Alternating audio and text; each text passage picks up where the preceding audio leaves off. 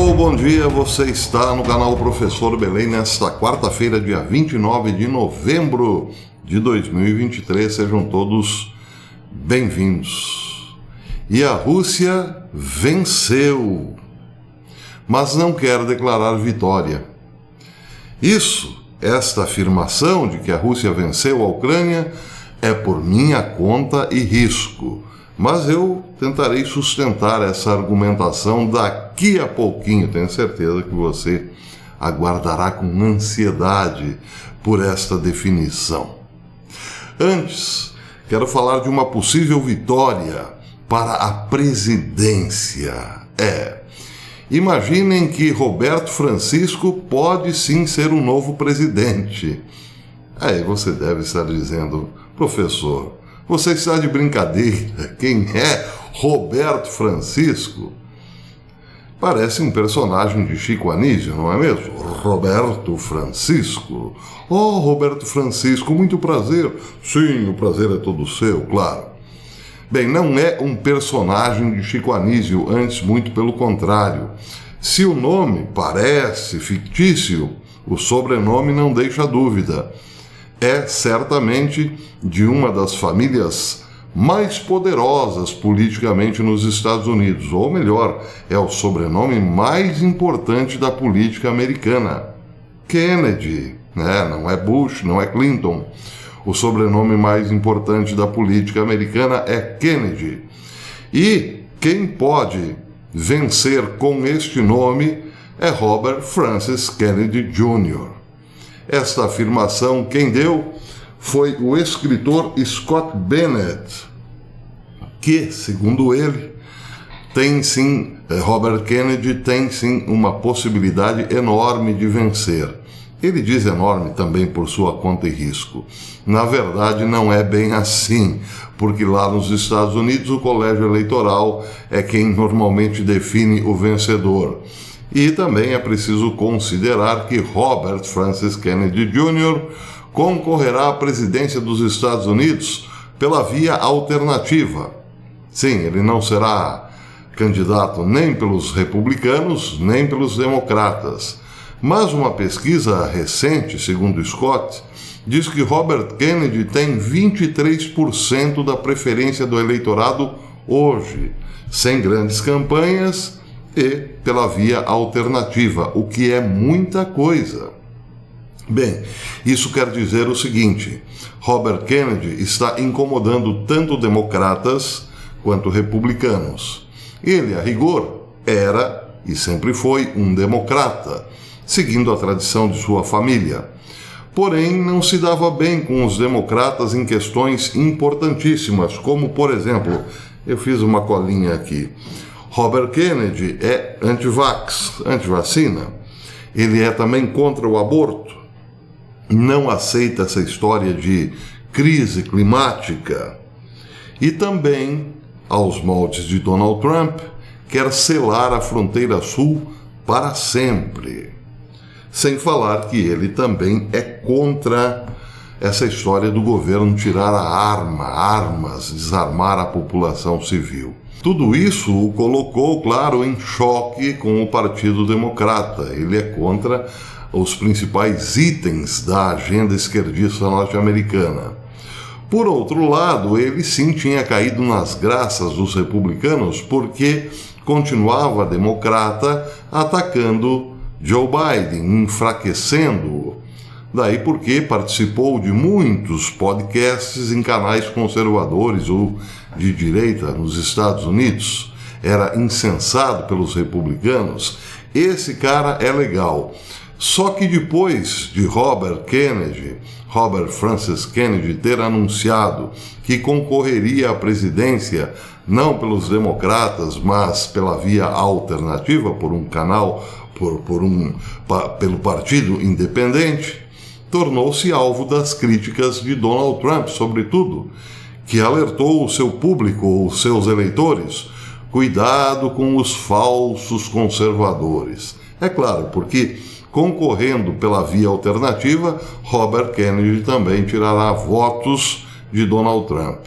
E é aí que aumentam as possibilidades de Robert Kennedy, porque tanto Trump quanto Biden são altamente rejeitados, são impopulares por uma grande fatia do eleitorado norte-americano. Quem ama Trump, ama de paixão, mas quem o odeia, o odeia profundamente. Com Biden, a mesma coisa. A situação de Biden, aliás, é muito pior. Ele hoje é visto com desconfiança até por fervorosos democratas, que votam até em pedras, uma vez que as pedras sejam indicadas pelo partido. Mas já veem Biden com muito desconforto ou desconfiança. Então, o problema é esse, tanto para Trump quanto para Biden. Como eliminar esta possibilidade de vitória de Robert Francis Kennedy Jr. A propósito, como Kennedy carrega o sobrenome que carrega, ele tem sim muitos contatos importantes dentro da política americana. Não é um sujeito sem pedigree, antes muito pelo contrário. Por ter esses contatos, é claro, ele também está recebendo muito dinheiro para a sua campanha. Aliás, foi o político quem deu essa informação no dia 1 deste mês, 1 de novembro, dizia uma matéria do político. Robert Francis Kennedy Jr. está coletando cheques de doadores que antes davam dinheiro para Donald Trump a uma taxa muito mais alta do que os ex-colaboradores de Biden. Um sinal de que o candidato presidencial independente pode obter mais do eleitorado republicano do que dos eleitores democratas. Uma análise do político aos registros financeiros de campanha mostra também que a candidatura de Kennedy atraiu milhões de dólares de doadores que mantiveram as suas carteiras fechadas nas duas últimas eleições presidenciais, sugerindo que ele está ativando pessoas que foram rejeitadas pelos principais partidos ou pelos principais candidatos que os, os importantes partidos americanos rejeitaram. Bem, só que aí também pairam dúvidas sobre quem é Robert Kennedy. Se por um lado ele agrada a direita por ir contra os principais antivalores dos democratas, por outro, é bom lembrar que ele tem um pé no establishment também, porque sempre foi um advogado de grandes corporações. E esse é o ponto de interrogação. Ele é anti-establishment por um lado e é establishment por outro. Mas, para Scott Bennett, isso não é problema. Antes, pelo contrário, pode ser uma vantagem, já que ele terá votos dos dois lados. Há uma grande quantidade de eleitores norte-americanos que não querem uma aventura pura e simples contra o establishment para depois não darem nada e piorar ainda mais a situação do país. Por outro, não querem um candidato totalmente establishment e é nessa lacuna, então, que entraria a opção Robert Francis Kennedy. Bem, em relação ao texto de Scott, ele diz também o seguinte: é justamente essa combinação de fatores que pode tornar a candidatura de Robert Kennedy perfeita para este momento. Os eleitores independentes, uma enorme popularidade de acordo com sondagens recentes, tem uma visão desfavorável tanto de Donald Trump quanto de Joe Biden. Eles procuram algo que nenhum dos candidatos dos partidos principais está oferecendo. Se Kennedy der aos independentes motivos para comparecerem no dia da, da eleição, ele poderá vencer. Ele poderá vencer também por conta de um grande contingente de eleitores que, não votaram nas últimas eleições.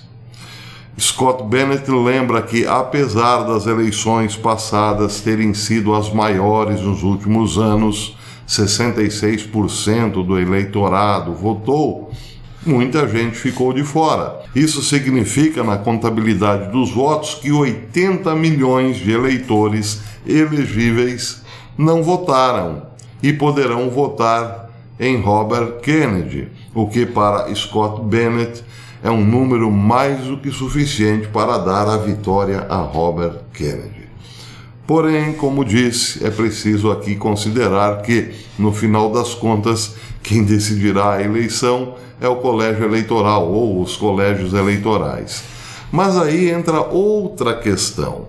Como ninguém sabe muito bem quem é Robert Kennedy, sabe-se apenas que ele tem um pé no establishment e outro não, pode ser a aposta que faltava para os democratas, que vem a canoa de Joe Biden afundar cada dia mais. Bem, é possível sim, então, que existe uma aposta aí do establishment ou do deep state numa figura que de repente, do nada, apareceu como o anti-herói da esquerda. Pode ser tudo, claro, um grande teatro. Pode ser também que não. Pode ser que o destino resolveu aprontar uma para os lados do Deep State, mas isso só quem viver verá. Muito bem, meus queridos amigos, eu disse no começo que a Rússia venceu, mas não quer declarar vitória. Eu fiz essa afirmação baseado num texto de Jim Rickards, que diz o seguinte: o texto foi publicado hoje diz o seguinte.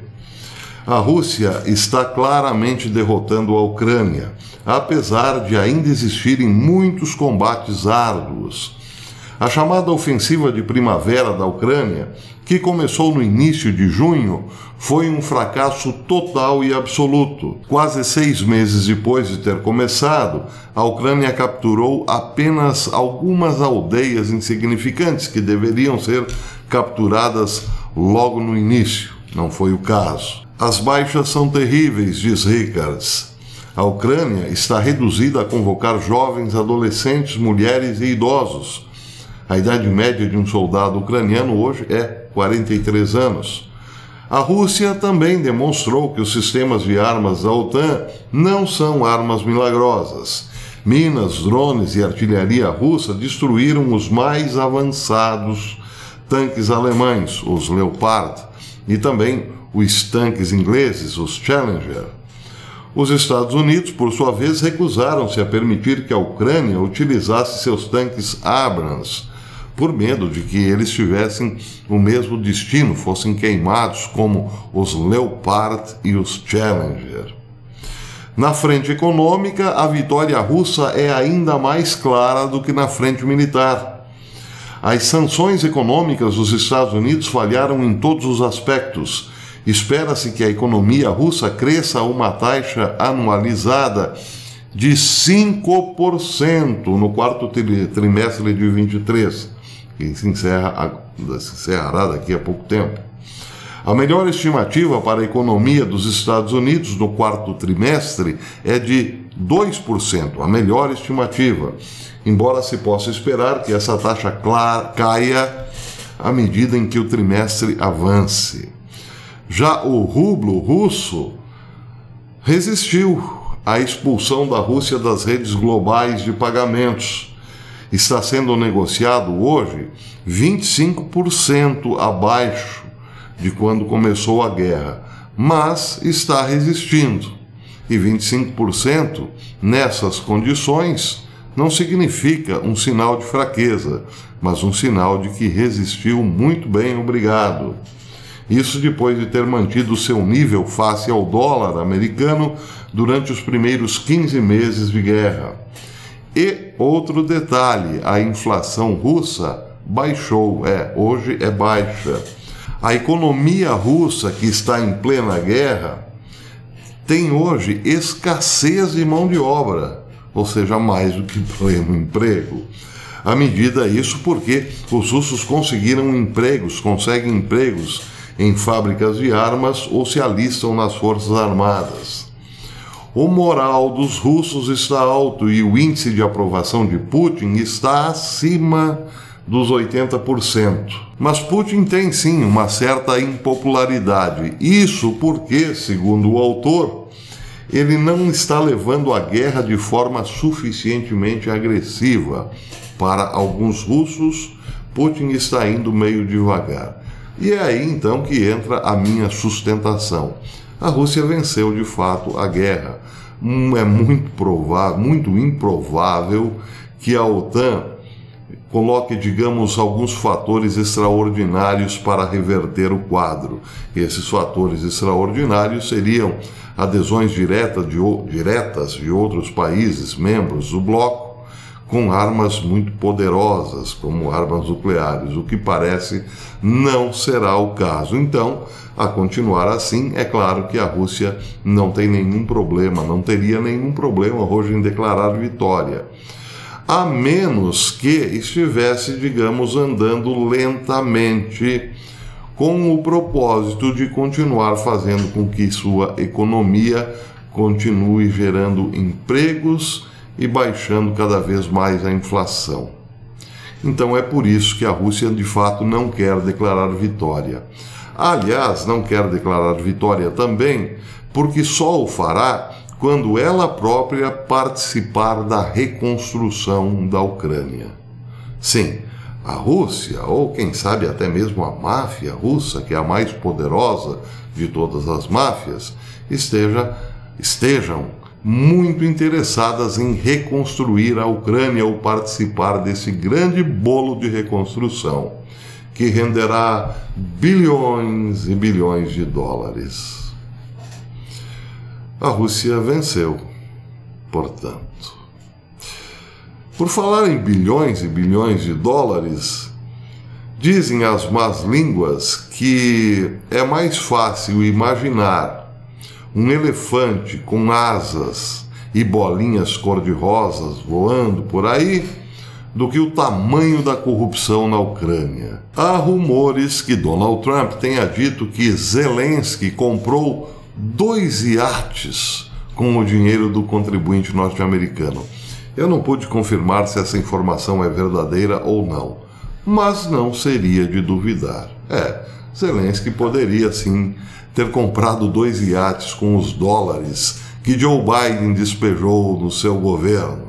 Um para ele e outro para sua esposa, para quem sabe navegarem por mares bem diferentes. Por enquanto é isso. Até amanhã, se Deus quiser.